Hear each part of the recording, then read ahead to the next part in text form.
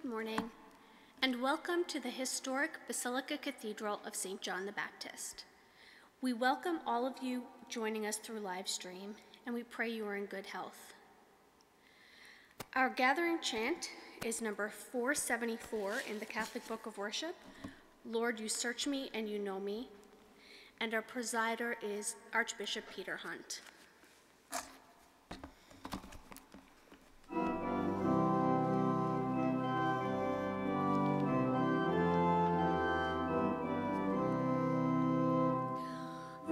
You search me and you know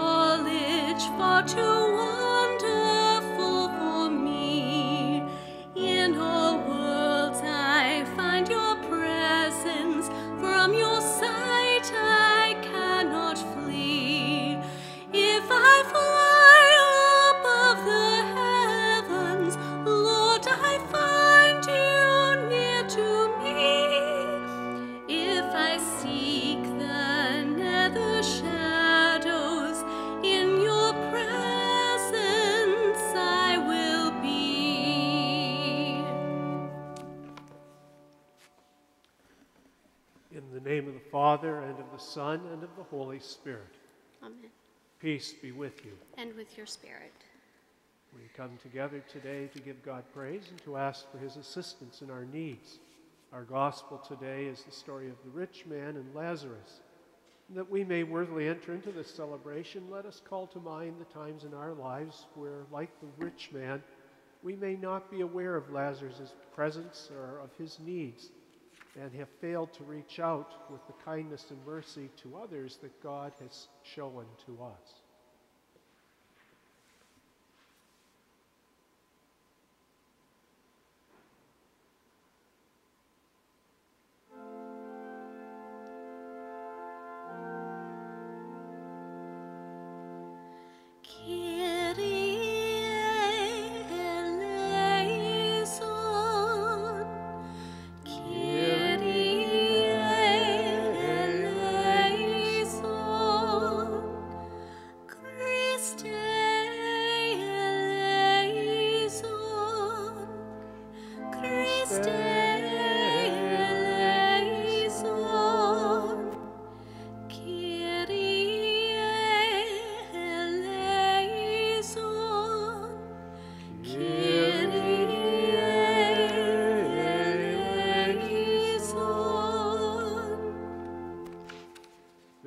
God have mercy on us, forgive us our sins, and bring us to everlasting life. Amen. Let us pray. O God, who delight in innocence and restore it, direct the hearts of your servants to yourself, that, caught up in the fire of your Spirit, we may be found steadfast in faith and effective in works. Through our Lord Jesus Christ, your Son, who lives and reigns with you in the unity of the Holy Spirit, God forever and ever. Amen.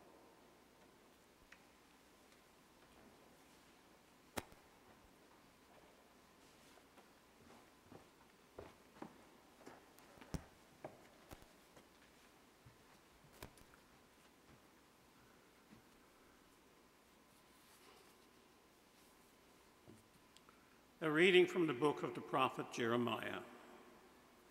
Thus says the Lord Cursed are those who trust in mere mortals and make mere flesh their strength, whose hearts turn away from the Lord. They shall be like a shrub in the desert and shall not see when relief comes. They shall live in the parched places of the wilderness in an uninhabited salt land. Blessed are those who trust in the Lord, whose trust is the Lord. They shall be like a tree planted by the water, sending out its roots by the stream. It shall not fear when heat comes, and its leaves shall stay green. In the year of drought, it is not anxious, and it does not cease to bear fruit. The heart is devious above all else. It is perverse. Who can understand it? I, the Lord, test the mind and search the heart, and give to all according to their ways, according to the fruit of their doings. The word of the Lord.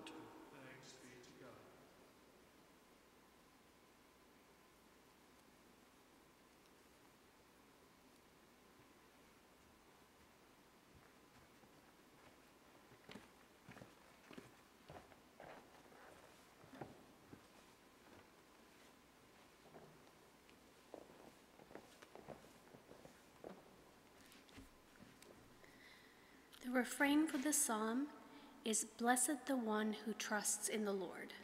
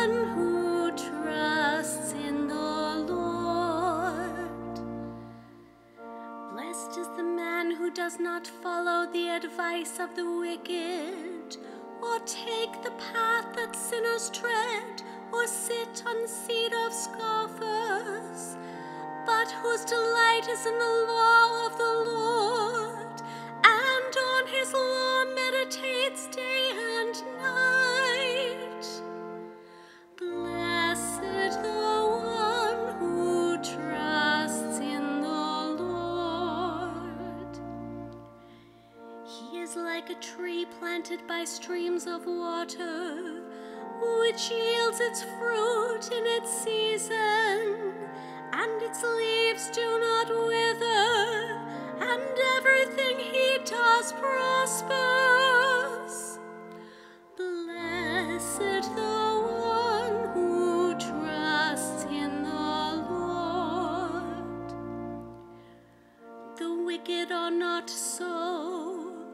Are like chaff that the wind drives away. For the Lord watches over the way of the righteous, but the way of the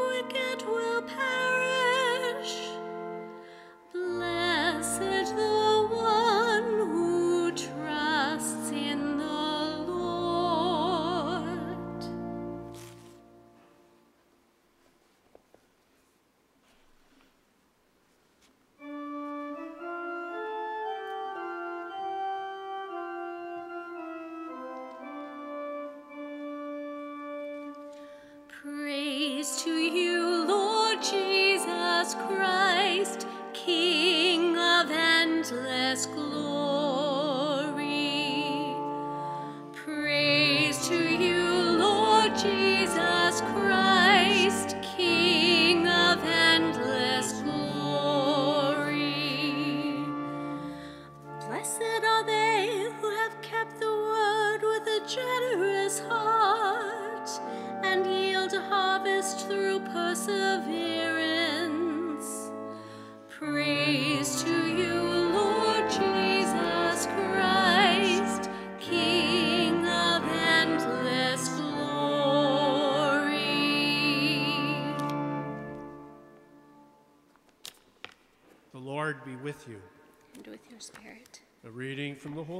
Gospel according to Luke. Glory be to you, O Lord. Jesus told this parable to those among the Pharisees who loved money. There was a rich man who was dressed in purple and fine linen, and who feasted sumptuously every day.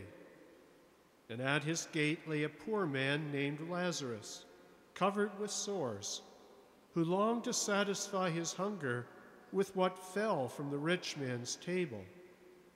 Even the dogs would come and lick his wounds. The poor man died and was carried away by the angels to be with Abraham. The rich man also died and was buried. In Hades, where he was being tormented, he looked up and saw Abraham far away, with Lazarus by his side. He called out, Father Abraham, have mercy on me and send Lazarus to dip the tip of his finger in water and cool my tongue, for I am in agony in these flames. But Abraham said, Child, remember that during your lifetime you received your good things, and Lazarus in like manner evil things. But now he is comforted here, and you are in agony. Besides all this, between you and us is a great chasm that has been fixed, so that those who might want to pass from here to you cannot do so, and no one can cross from there to us. The man who had been rich said, Then, Father, I beg you to send him to my father's house, for I have five brothers, that he may warn them, so that they will not also come into this place of torment. Abraham replied, They have Moses and the prophets they should listen to them. He said, No, Father Abraham, but if someone goes to them from the dead, they will repent. Abraham said to him, If they do not listen to Moses and the prophets, neither will they be convinced, even if someone rises from the dead. The Gospel of the Lord.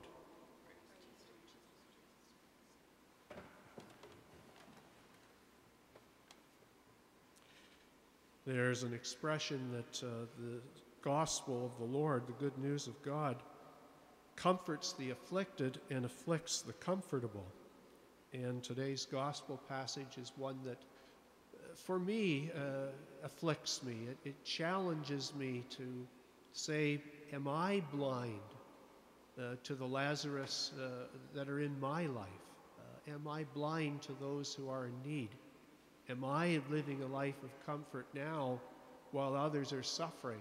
And for that I will have will I have to answer in the next life. It's a good thing for us to think about once in a while.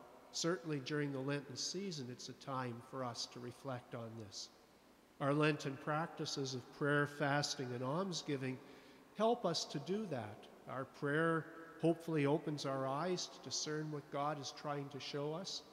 Our fasting helps us to be aware of how others struggle, maybe at times, with a lack of nourishment or riches in many ways. And our almsgiving is a way of reaching out, of seeking to help those who have less. It's interesting today to contrast the rich young man of the gospel from the memorial that we celebrate as a church today. Today is the memorial of St. Casimir, St. Casimir was uh, the son of the King of Poland in the 15th century. And despite his wealth, or, or, or, in the midst of his wealth, he was a man who was known for his sensitivity to the poor and for his good works. Uh, we have quite an account of St. Casimir's life from those men who lived with him and admired him and his generosity of spirit and his his sensitivity to those around him, especially the poor and the needy. He was considered to be the meekest of all men and, and humble and generous in wonderful ways. What is the difference between somebody like St. Casimir and the rich young man of today's gospel? I think maybe we find the answer to that in today's first reading and today's psalm.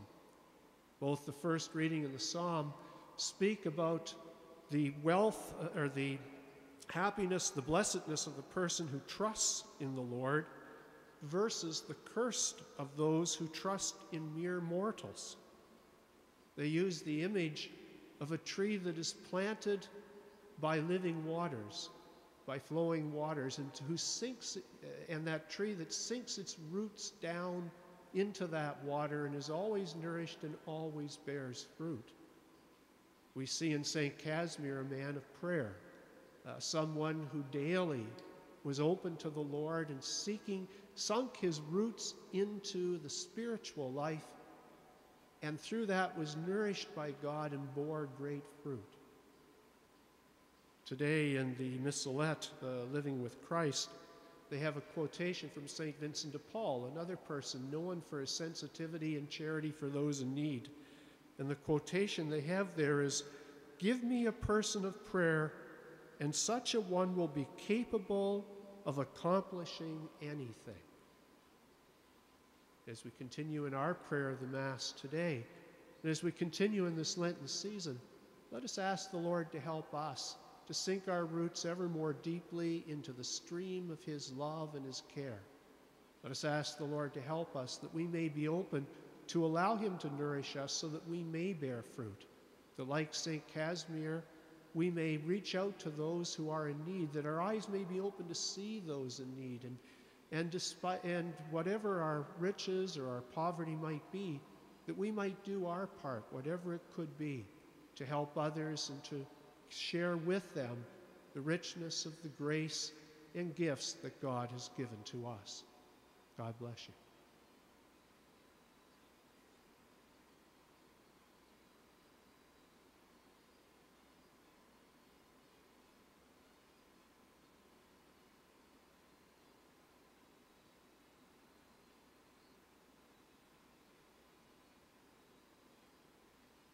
One of the riches that God has shared with us through our gift of faith is the ability to pray for the needs of our world and its people. With confidence in God's goodness, let us offer to Him now our prayers of petition. Let us begin by praying for our Pope and for all our religious and civil leaders, that they and all who have positions of authority and wealth in our world may seek to use those gifts that they have been given for the service of all, especially those most in need. For this we pray to the Lord. Lord, hear our prayer. For ourselves and for all who have been given the gift of faith, that the Lord will help us day by day to open ourselves to his inspiration and guidance, and that our eyes may be open to know how best to serve him, especially among those most in need. For this we pray to the Lord. Lord, hear our prayer. For all the poor of our world, those who struggle with hunger or homelessness, those who struggle with loneliness or pain of misery or misery of any kind, we pray for them that the Lord may assist them, especially through the outreach and kindness of his people. For this we pray to the Lord. Lord, hear our prayer. We pray for those who have died they may have eternal rest with God in heaven. For this we pray to the Lord. Lord, hear our prayer. Let us pause for a moment to bow our heads and offer our own personal intentions.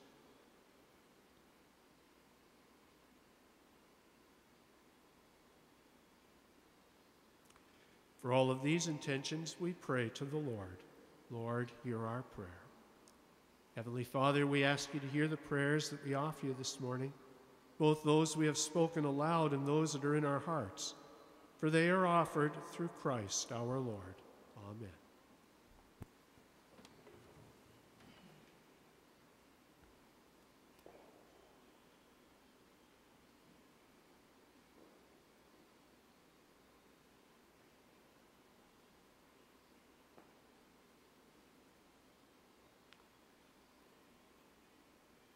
Blessed are you, Lord God of all creation, for through your goodness we have received the bread we offer you. Fruit of the earth and work of human hands, it will become for us the bread of life. Blessed be God forever. By the mystery of this water and wine, may we come to share in the divinity of Christ, who humbled himself to share in our humanity.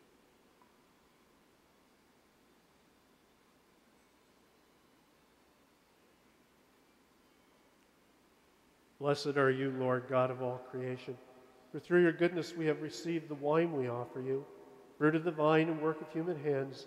It will become our spiritual drink. Blessed be God forever. Humble spirit and contrite heart, may we be accepted by you, O Lord. May our sacrifice in your sight this day be pleasing to you, Lord God.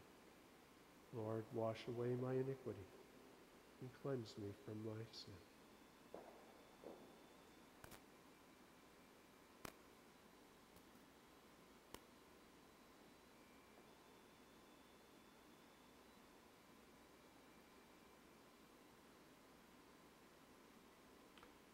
Pray, brothers and sisters, that my sacrifice and yours may be acceptable to God the Almighty Father. And Lord accept the sacrifice of my hands, praise and glory of his name, for our good and the good of all his holy church. By this present sacrifice we pray, O Lord, sanctify our observance, that what Lenten discipline outwardly declares, it may inwardly bring about through Christ our Lord. Amen.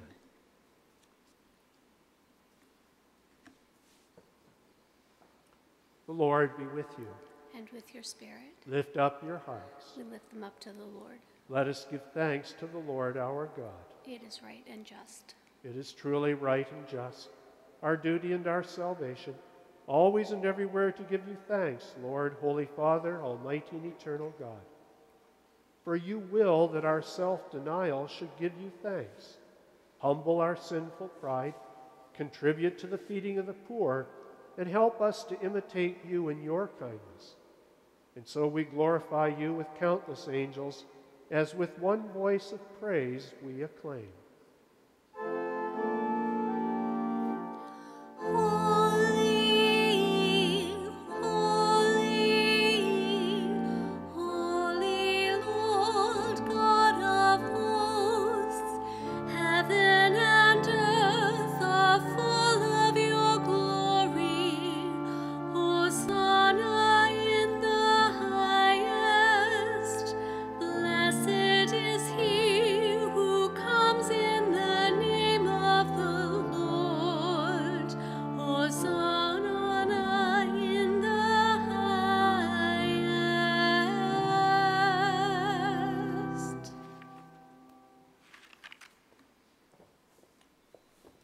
You, therefore, Almighty Father, we bless through Jesus Christ, your Son, who comes in your name.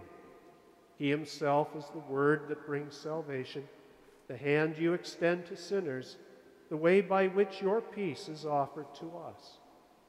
When we ourselves had turned away from you on account of our sins, you brought us back to be reconciled, O Lord, so that converted at last to you, we might love one another through your Son, whom for our sake you handed over to death.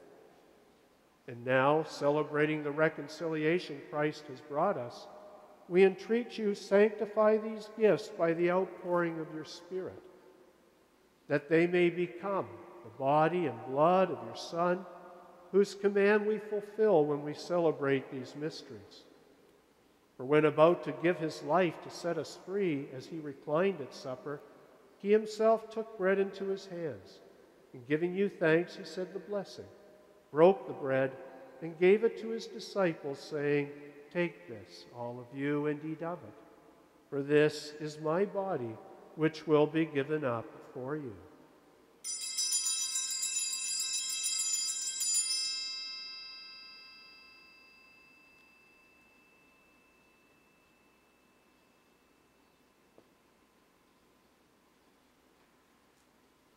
Similar way, on that same evening, he took the chalice of blessing in his hands, confessing your mercy, and gave the chalice to his disciples, saying, Take this, all of you, and drink from it.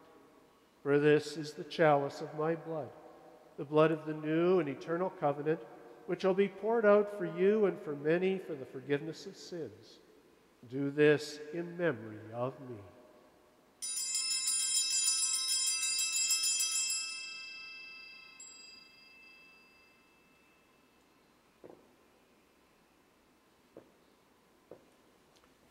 The mystery of faith.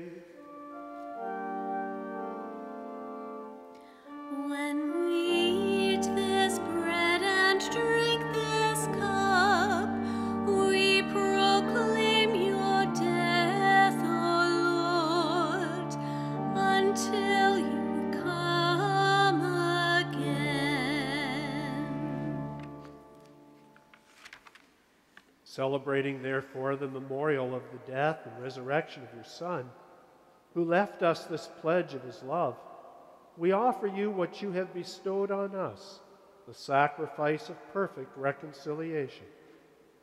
Holy Father, we humbly beseech you to accept us also together with your Son, and in this saving banquet graciously to endow us with his very Spirit, who takes away everything that estranges us from one another. May he make your church a sign of unity and an instrument of your peace among all people. And may he keep us in communion with Francis our Pope, me your unworthy servant, and all the bishops and your entire people. Just as you have gathered us now at the table of your Son, so also bring us together with the glorious Virgin Mary, Mother of God, with blessed Joseph, her spouse, with your blessed apostles and all the saints, with our brothers and sisters and those of every race and tongue who have died in your friendship. Bring us to share with them the unending banquet of unity in a new heaven and a new earth, where the fullness of your peace will shine forth in Christ Jesus our Lord. Through him and with him and in him, O God, Almighty Father, in the unity of the Holy Spirit, all glory and honor is yours forever and ever.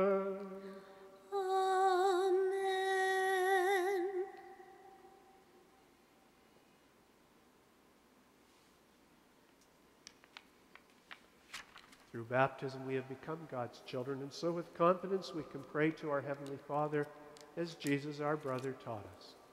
Our Father, who art in heaven, hallowed be thy name. Thy kingdom come, thy will be done, on earth as it is in heaven. Give us this day our daily bread, and forgive us our trespasses, as we forgive those who trespass against us. And lead us not into temptation, but deliver us from evil. Deliver us, Lord, we pray, from every evil. Graciously grant peace in our days, that by the help of your mercy we may be always free from sin and safe from all distress, as we await the blessed hope and the coming of our Savior, Jesus Christ. For the kingdom, the power, and the glory are yours, now and forever. Lord Jesus Christ, who said to your apostles, Peace I leave you, my peace I give you, look not on our sins, but on the faith of your church, and graciously grant her peace and unity in accordance with your will, who live and reign forever and ever. Amen. The peace of the Lord be with you always. And with your spirit. Let us offer each other a sign of the Lord's peace.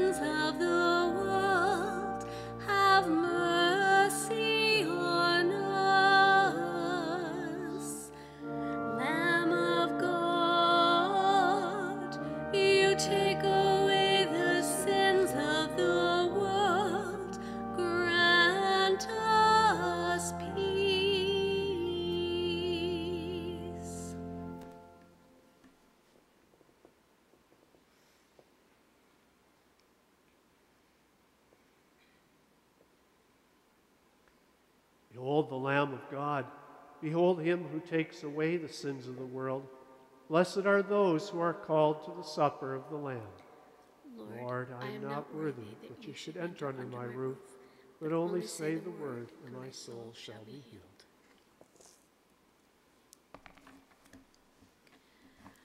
An act of spiritual communion, a prayer for those who are unable to receive Holy Communion at this time.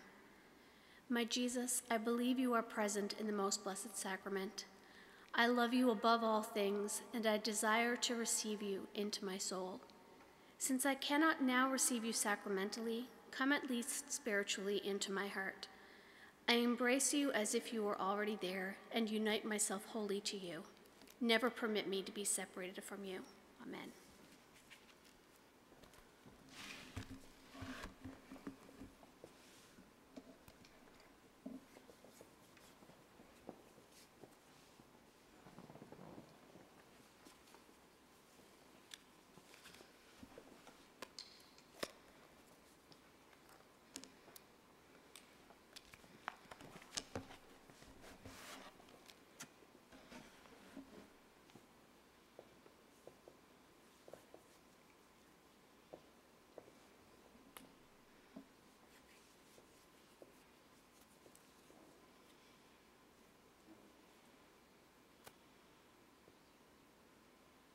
The body of Christ.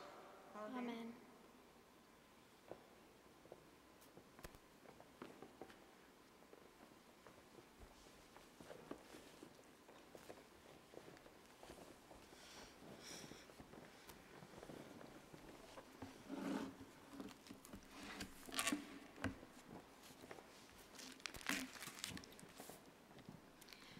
Our communion hymn is number 6.1 in the Celebrate in Song, Bread for the World.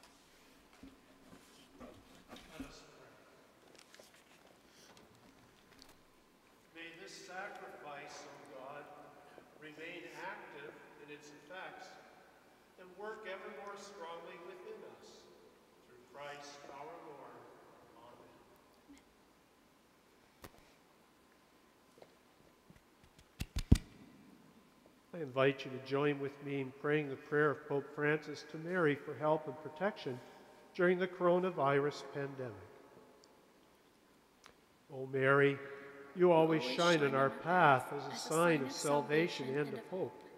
We entrust ourselves to you, health of the sick, who at the cross took part in Jesus' pain, keeping your faith firm.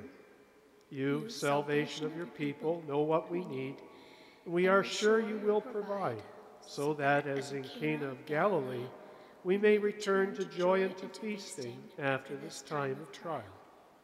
Help us, Mother of divine love, to conform to the will of the Father and to do as we are told by Jesus, who has taken upon himself our sufferings and carried our sorrows to lead us through the cross to the joy of the resurrection.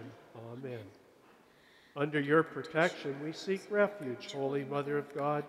Do not disdain the entreaties of we who are in trial, but deliver us from every danger, O glorious and blessed Virgin. Amen. The Lord be with you. And with your spirit. Bow down for the blessing.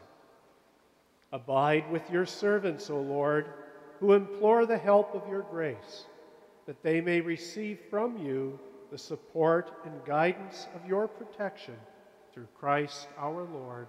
Amen. And may Almighty God bless you, the Father, the Son, and the Holy Spirit. Go in peace, glorifying the Lord by your lives. Thanks be to God. Our missioning hymn is number 647 in the Catholic Book of Worship I Know That My Redeemer Lives.